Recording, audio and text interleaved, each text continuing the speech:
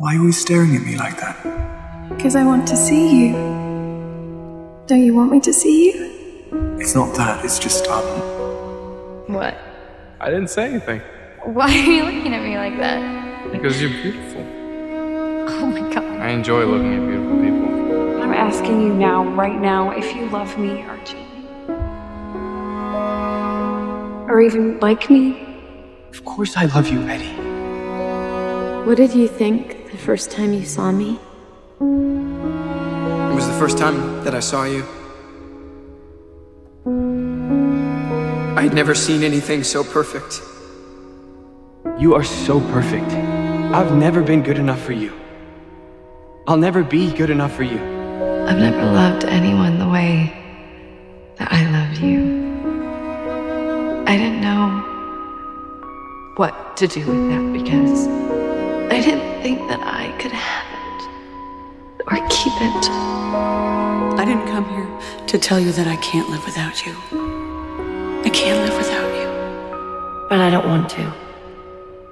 I don't ever want to. No matter where you are, or what you're doing, or who you're with, I will always, honestly, truly, completely love you. You know, I never thought love was real. I didn't. And now I think life isn't real without it. I want you to know that whatever this is, and wherever it takes us, that I'm with you. Every step, every moment, I'm with you. Yes, I love everything about you. No matter what happened to you, It's not all bad. Because the person standing in front of me is a wonder.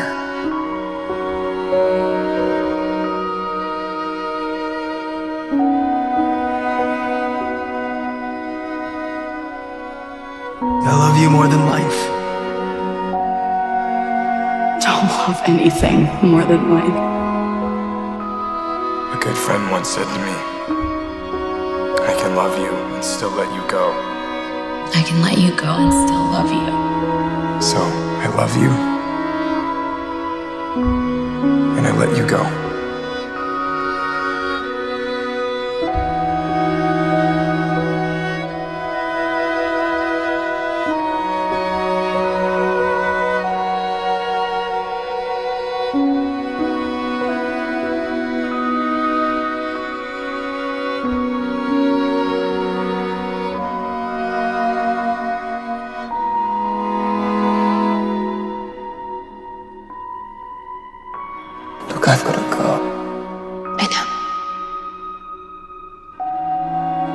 We will see each other again.